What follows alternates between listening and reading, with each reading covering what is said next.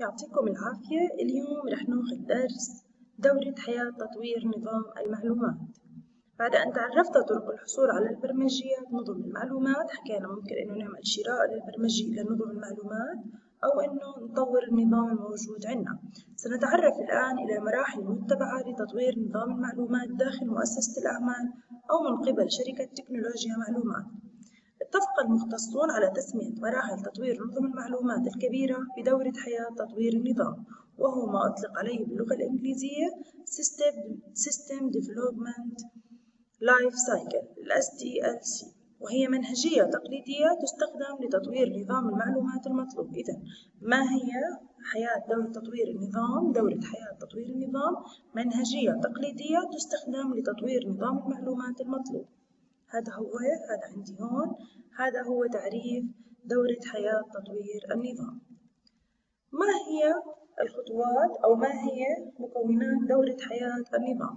تتكون دورة حياة تطوير نظم المعلومات من مجموعة من المراحل المتتالية إذ يتم بناء النظام بشكل تطويري أي أن النظام يتطور بعد كل مرحلة إلى أن يصل إلى النظام النهائي المطلوب. وعندنا سبع مراحل لحتى نعمل نظام معلومات عندنا أولا بدي أعرف النظام. ثانيا بدي أعمل تحليل للنظام الموجود عندي وبعد هيك ببلش أصمم النظام. بعد تصميم النظام بقوم ببرمجة النظام اللي بدي أستخدمه. بعد برمجة النظام لابد من فحص النظام للتأكد إنه شغال مية بالمية. بعد هيك بقوم بتنفيذ النظام وآخر إشي عندي صيانة للنظام بشكل دوري. طبعا العودة إلى المرحلة أو المراحل السابقة بقدر أرجع لها في أي وقت لما أكون أنا عم بشتغل في تطوير النظام. فيما يلي في عنا شرح لمناقشة نظام استعارة الكتب في المكتبة المدرسية. أول خطوة عنا تعريف النظام. تعتبر هذه المرحلة من أهم المراحل. فهي المرحلة الأولى التي يبنى عليها جميع المراحل التي تليها. أنا بدي أحدد لشو بده يكون النظام الموجود عندي. أولا بدي أحدد الهدف من بناء هذا النظام. تحدد الأهداف الرئيسية والمنفعة المرجوة من بناء النظام. فالهدف من بناء نظام استعارة الكتب في المكتبة المدرسية هو تسهيل عملية استعارة الطلاب للكتب عمل قاعدة بيانات للكتب الحصول على تقارير محوسبة عن المكتبة المدرسية. أنا حددت أهدافي لحتى أبني عليها النظام. بدي أحدد متطلبات النظام ثانيا حددت الأهداف. الآن شو المتطلبات اللي عندي؟ بحدد أهم المهام التي سيقوم بها النظام. فمن متطلبات بناء نظام استعارة الكتب السماح للطلاب باستعارة الكتب إمكانية البحث عن كتاب وإخراج تقارير إحصائية عن الاستعارة والكتب. أنا هلأ برتب أفكاري. الآن بدي أحدد مهام النظام. هنا تفضل متطلبات النظام إلى مهام مجزأة ومحددة ففي نظام استعارة الكتب في عنا مجموعة من المهام. أولا بدي أسمح للطالب باستعادة عدد معد... باستعارة عدد محدد من الكتب. بدي أحدد فترة استعارة الكتاب بزمن محدد البحث عن كتاب من خلال اسم الكتاب أو المؤلف أو التصنيف تصدير تقارير عن أسماء الطلاب المستعيرين تصدير تقارير بالكتب الموجودة في المكتبة المعارة وغير المعارة. رابعا بدي أحدد الخيارات التكنولوجية المتاحة لتطوير النظام. في هذه المرحلة تستعرض الخيارات التكنولوجية المتاحة سواء كانت أدوات أو برمجيات لاختيار الأنسب منها وبما يخدم متطلبات النظام. يمكن اختيار من قواعد البيانات المختلفة ما سيتم استخدامه في بناء نظام استعارة الكتب. الآن نشاط أربعة ستة بدنا نقارن بين نظام استعارة الكتب في مكتبة مدرسية وفي مكتبة عامة. خلينا نقرأهم من هون وجه المقارنة. إذا بدنا نقارن بين مكتبة مدرسية ومكتبة عامة من حيث عدد الأجهزة المستخدمة في نظام المكتبة المدرسية نستخدم جهاز واحد على الأغلب. بينما في المكتبة العامة رح نحتاج لأكثر من جهاز لأنه رح يكون العدد أكبر.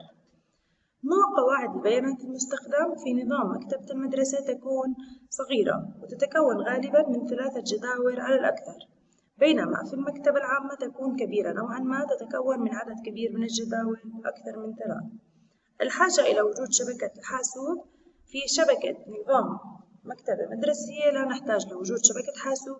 في المكتبة العامة طبعا نحتاج إلى وجود شبكة حاسوب. وجود موقع إلكتروني في المكتبة المدرسية لا يحتاج إلى وجود موقع إلكتروني لها. في المكتبة العامة من الأفضل أن يكون لها موقع إلكتروني في الغالب. الآن نحدد المشاكل والصعوبات المتوقعة والمحتملة التي قد تعيق بناء النظام. في هذه المرحلة يتم تحديد أهم المشاكل والحلول المقترحة لها. ففي نظام استعارة الكتب المدرسية قد تكون المشاكل في عدم توافر جهاز حاسوب مخصص للمكتبة أو الوقت المستخدم لإدخال جميع الكتب الموجودة في المكتبة إلى نظام الاستعارة الجديد. يجب أن تتم هذه المرحلة في تعريف النظام على أكمل وجه. لأن أي نقص في كتابة المتطلبات أو المهام يجعل إضافة أي متطلبات أو مهام جديدة أمر صعب أو غير ممكن على الإطلاق. لهذا تعطى هذه المرحلة كل الوقت والاهتمام اللازم لإنجازها. يعني أنا في مرحلة تعريف النظام لازم أحدد المهمات المتطلبات الصعوبات والمشاكل والمعيقات اللي ممكن تخرب علي بناء النظام. الآن بعد ما أنا قمت بتعريف النظام اللي بدي أبنيه بدي أعمل تحليل للنظم. في هذه المرحلة تجمع كل المعلومات عن النظام المراد بناؤه للمؤسسة بشكل وافي وكافي لبناء النظام المعلوماتي الجديد ويجب مراعاة الأمور الآتية عند جمع المعلومات عن النظام وتحليلها. واحد متطلبات المستخدمين واحتياجاتهم. اثنين متطلبات العمليات التي يجب أن تتوافر في النظام. ثلاث المتطلبات الأمنية للنظام تحديد البنية التحتية للنظام من أجهزة ومعدات وشبكة حاسوب. ففي نظام استعارة الكتب يجب جمع المعلومات عن المستخدمين وكيفية استخدامهم للنظام. وفي العادة يكون المستخدم في نظام استعارة الكتب هو الطالب وأمين المكتبة. نحدد عندنا الأفراد راح يستخدموا النظام. ومن أبسط الإجراءات الأمنية لحماية النظام هو وضع اسم مستخدم وكلمة السر عند الدخول للحفاظ من العبث. وتحدد البنية التحتية للنظام بشكل وافي حتى يتم توفيرها عند تشغيل النظام. الآن نقوم بتصميم النظام. يتم في هذه المرحلة وصف كيفية عمل النظام وكيف يتفاعل مع المستخدمين وفي هذه المرحلة يتم تحديد مدخلات النظام ومخرجاته وكل جزء من أجزائه. تصميم واجهات عمل للمستخدم التي من خلالها سيتفاعلون مع النظام تصميم قواعد البيانات للنظام وتحديد طريقة عمل الإجراءات المطلوبة في النظام. وفي نهاية هذه المرحلة يتم إنشاء مجموعة من المخططات التي تصف كيفية عمل كل جزء من أجزاء النظام حتى يتم إرسالها إلى المبرمجين للبدء في برمجة النظام. خلصنا وصممنا. الآن نقوم ببرمجة النظام. في هذه المرحلة تترجم المخططات التي تم تصميمها في المرحلة السابقة إلى برامج باستخدام إحدى لغات البرمجة المختلفة. يعني أنا مثلا بقوم بعمل نموذج بحدد فيه إنه مثلا عند إدخال كلمة السر بينتقل إلى الصفحة الرئيسية وهكذا. هذا أنا رسمت رسم في مرحلة البرمجة. بدنا نترجمه على شكل كودات لحتى يصير عندي برنامج. تطبق تصاميم قواعد البيانات باستخدام إحدى قواعد البيانات المعروفة وغالبا ما تكون قاعدة البيانات التي تم اختيارها في المرحلة الأولى من بناء النظام.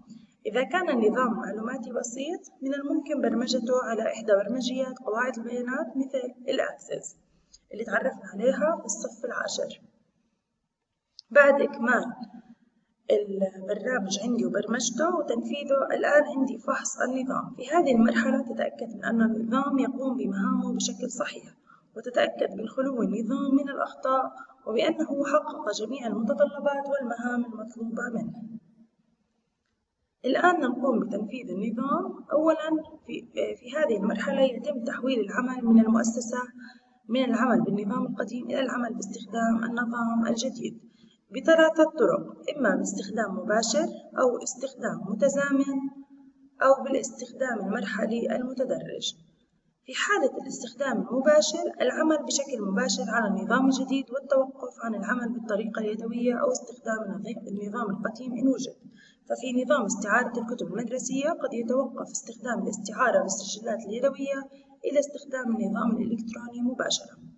الاستخدام المتزامن نستخدم النظام الجديد مع البقاء في استخدام الطريقة القديمة لفترة محددة للتأكد من خلو النظام الجديد من الأخطاء وعندها يتم التحول بالكامل إلى النظام الجديد.